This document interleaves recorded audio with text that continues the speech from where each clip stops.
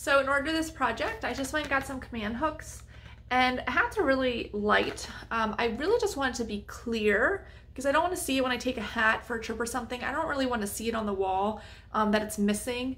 I was gonna start with nails, but just because I'm not positive that I like this look, because I haven't done it before, I want to start with something temporary before I started putting holes in the wall with nails, but I'm happy to move over to nails if I really like the look.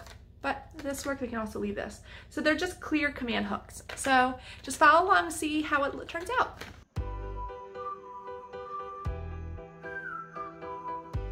So here I have the clear command hooks that I talked about earlier. You don't have to use clear, I just like that you can't see it if I take the hat off to use it. It's a functional wall.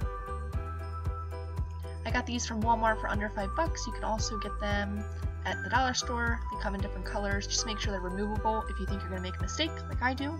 And then just start setting it up on the wall the way you want. So I went with a zigzag pattern, and I used the hat to kind of figure out the placement of it just because the hat's larger than the hook, of course.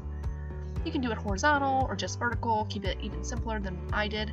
And if you mess up like I just did there, then you can move it around with no problem. Each pack usually comes with an extra sticker.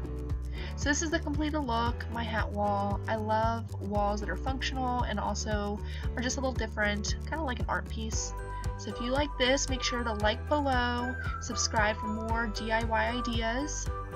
I come to you with a bunch of saving tips, so if you like that sort of thing, make sure to subscribe. Thanks so much for watching.